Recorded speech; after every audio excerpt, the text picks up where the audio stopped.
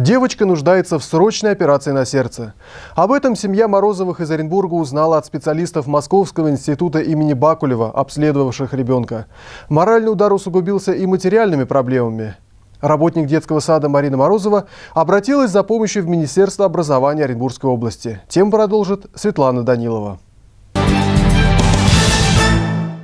Оля, как и многие девочки ее возраста, обожает гулять, рисовать и танцевать. Завтра они вместе с мамой уедут из любимого дворика, чтобы лечь в больницу. С двух с половиной лет девочка наблюдалась у кардиолога, принимала препараты, но улучшений не было.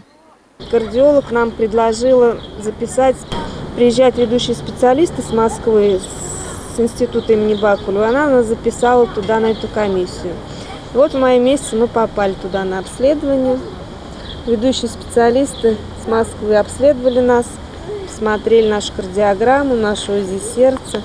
И, в общем-то, сказали, что нам необходима операция в Москве. Проезд, проживание и лечение ребенка за счет государства. Но малышку одну не отправишь в Москву на две недели, значит, нужны дополнительные деньги. Зарплаты младшего воспитателя детского сада на это не хватит. Ирина не отчаялась, стала искать помощи, обратилась в Министерство образования. Был прием по личным вопросам. Ирина Михайловна зашла, объяснила суть своей проблемы. Но мы обговорили сумму, я повстречался со своим коллективом, объяснил ситуацию. Спасибо коллегам, они, в общем-то, живо откликнулись на это дело. И вот мы собрали ту сумму, которую я и обещал.